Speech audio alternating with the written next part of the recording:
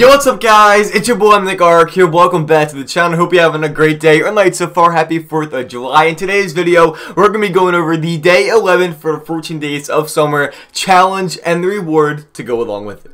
So I hope you guys do enjoy this video, but I want to get one thing out of the way real quick. In case you guys don't know, every single day for the 14 days of summer event, I share with you guys the challenge and the reward a day before it goes live. So you guys will know what the challenge is, you'll know how to complete it, you'll know what to do nice and easy. So if you guys want to stay tuned for that every single day, make sure to subscribe to the channel, I would love to have you. And as well, I keep you guys updated with everything regarding Fortnite news, so you will not be disappointed by subscribing. With all that said, I'm going to get right into the day 11 challenge and reward for the 14 days of summer. Alrighty guys, so the challenge you're going to have to do for the day 11 is get a score of 10 or more on a carnival clown board. So basically, just go to any location similar to the one I'm doing on screen right now, activate it, and then pop 10 balloons in a row, and bang, you're done with the challenge. And you only have to complete this challenge one time, and the reward you guys get for completing this is honestly, it's pretty good. It's one of the better rewards in the whole 14 days of summer. It's this beach ball contrail.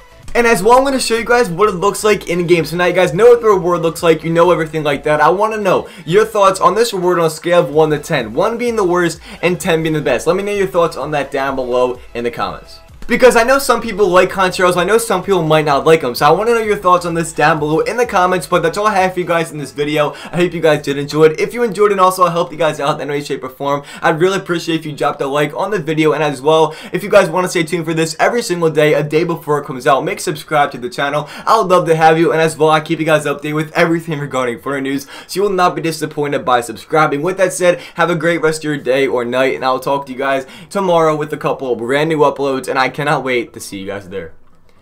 Peace.